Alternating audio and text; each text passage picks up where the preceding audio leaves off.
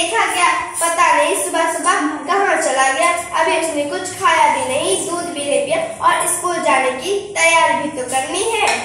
नहीं माँ मैंने मुन्ना को सुबह से कहीं नहीं देखा। मैं तो सुबह से बर्तन धोऊं माँ मुझे पढ़ना लिखना बहुत अच्छा लगता है। मेरा भी दाखिला स्कूल करवा दीजिए ना।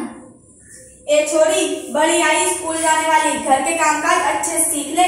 आगे चलकर यही तेरे काम आने वाले हैं। पढ़ लिख कर कौन सा तुझको कलेक्टर बनना है जल्दी जल्दी बर्तन साफ़ कर माँ जी मीरा का भी दाखिला स्कूल में करवा दीजिए ना उसे पढ़ना लिखना ज़रूरी है तू चुप कर पढ़ना लिखना ये तो केवल लड़कों का काम है उन्हें आगे चलकर स्थिति की ज़िम्मेदारी जो संभालनी होती है।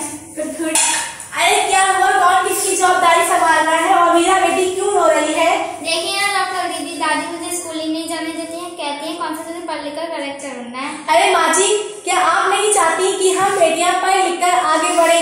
आज समाज बहुत आगे बढ़ चुका है। आप किस दुनिया की बात कर रही हैं? हम किस सदी में जा रहे हैं? मैं आज ही टीचर दीदी से कह के मीरा का दाखिला स्कूल में कराती हूँ। और मैं यहाँ इसलिए आई थी कि मुन्ना को पॉलिड्रॉप दिया कि नहीं इसकी कैंप जगह जगह लगे हैं। अच्छा जी आप आ गए मुन्ना को पॉलिड्रॉप भी दे देंगे और मैं इसे स्कूल भी पहुँचा दूँगी। अच्छा मीरा अब तुम रोना मत। मैं कल ही तुम्हारा दाखिला स्कूल में कराती हूँ। और तुम पढ़ लिख कर एक दिन मेरी तरह बहुत बड़ी डॉक्टर बन जाओगी बहू जरा एक गिलास पानी लेकर आना। अच्छा बाबू जी ये लीजिए बाबू जी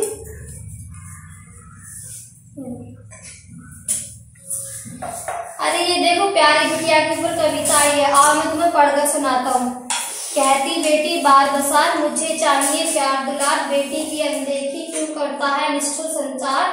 सोचो जरा, हमारे बिन बसा सकोगी घर परिवार। गर्भ से लेकर युगल लोग मुझ पर लटक रही तलवार।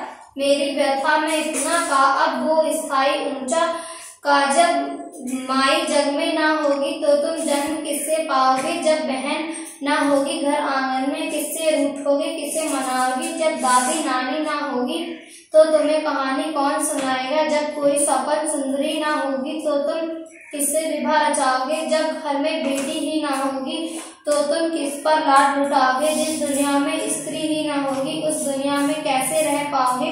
जब तेरे घर में बहू ही ना होगी, कैसे वंश आगे बढ़ाओगे? नारी के बिन जग सुना है, तुम यह बात कब समझ पाओगे? हाँ तो भाग्यवान, कैसी लगी कविता? है ना, मज़ेदार? मज़ेदार मुझे नहीं आई पसंद अरे कोई घर पर है क्या आई टीचर दीदी मैं आपका इंतज़ार कर रही थी हाँ जरा मैं कुछ देर के लिए बाहर चले गई थी इसलिए नहीं आ पाई डॉक्टर भी मुझे कह रही थी कि आपने अभी तक मीरा का दाखिला स्कूल में नहीं करवाया है। यह तो बहुत होनहार छात्रा है। हमेशा अच्छे अंक लेके उठती है। हाँ मैं भी तो यही चाहती हूँ कि मेरा स्कूल जा और खूब पढ़ लेकिन मेरे यहाँ सुनता कौन है? हाँ हाँ खूब पढ़ाओ लड़की को और बाहर भेजो। जब कुछ गलत हो जाए ना तो मुँह पाने की जगह भी नहीं मिलेगी। अरे माँ जी आप पहुँच मीरा को दूसरी कक्षा की पढ़ाई पूरी कर लेने दीजिए। आगे की पढ़ाई के बारे में बाद में सोच लेंगे। मैं मीरा को अब से पढ़ाऊँगी। मैं उसे अपने तरह अनपढ़ नहीं रहने दूँगी। मैं उसे खूब पढ़ाऊँगी। कल मीरा को तैयार रखना मैं उसे लेने आऊँगी। क्यों दादाजी ठीक कहा ना मैंने? हाँ हाँ बिल्कुल ठीक कहा। बेटा मैं भी तो कब से यही कह रहा हूँ कि मीरा भी स्कूल जाने दो। प्रणाम दादाजी। प्रणाम बेटी। बेटी को